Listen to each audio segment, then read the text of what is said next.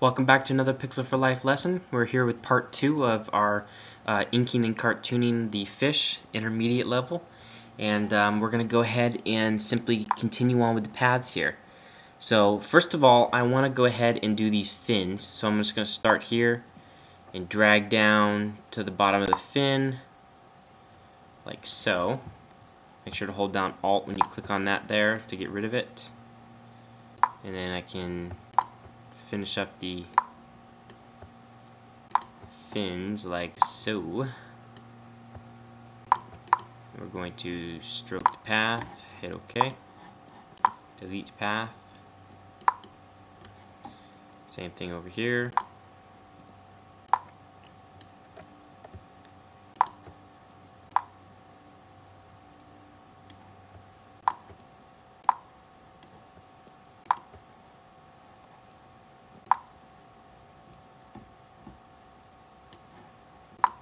Stroke that path, hit OK, delete the path.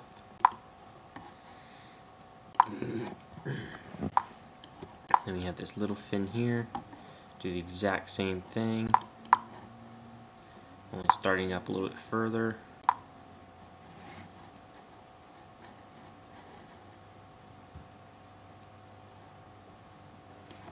Like so.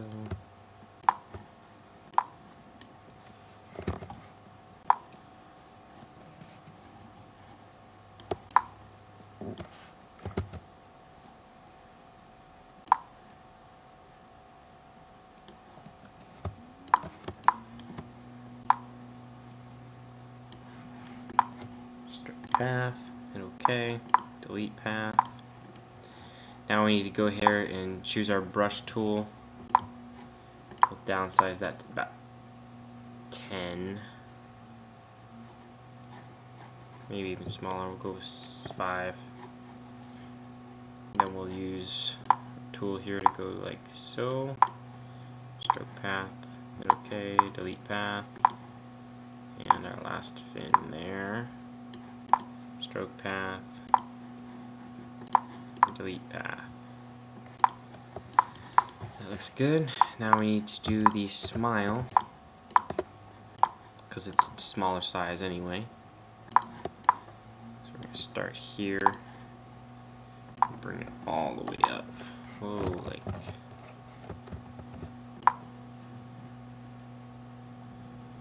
so.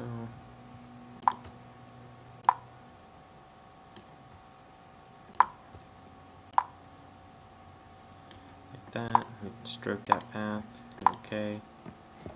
And I need to make sure I have my color set right. Stroke path, hit okay, delete path. And then we need to do this big line going down here, and that's going to definitely be 10 pixels.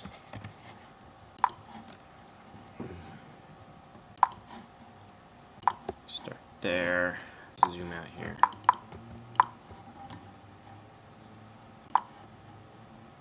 All the way down to the bottom.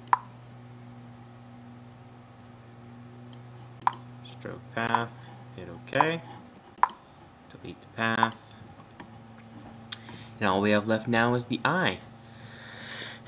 and the eye we're actually going to do separate um, all by itself so we don't even have to worry about that yet. So we've now completed the inking so let's go ahead and move on to the coloring. Um, it's really simple to color this, uh, this character to Window, Workspace, Default Workspace. And uh, simply create a new layer called Color.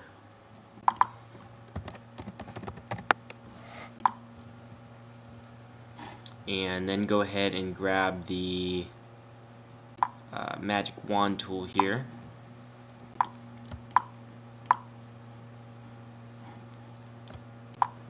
Change the tolerance to 100.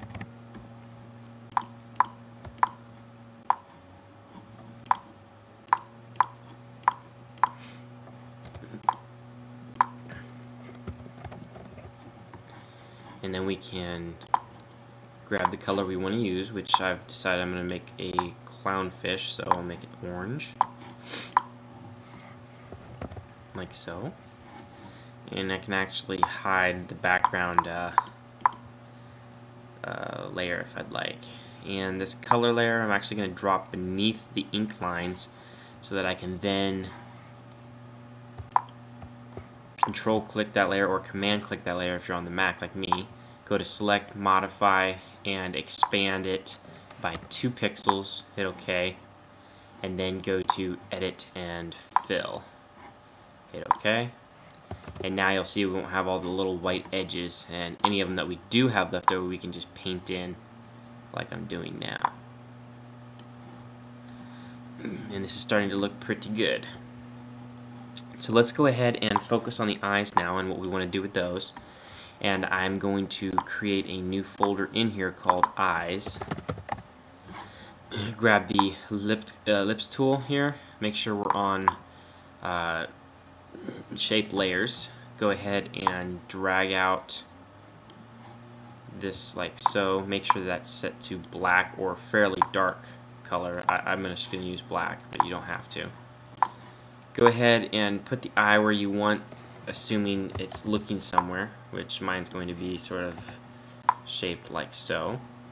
And then you're going to create a new layer here, so make sure to create um, uh, make change color to white and then you can change that uh, sorry I need to make sure to put it on its own separate section here and Not quite sure why that's doing that. But we can go ahead and just create a new layer and do it then. It'll be fine that way. Make it a little bit smaller.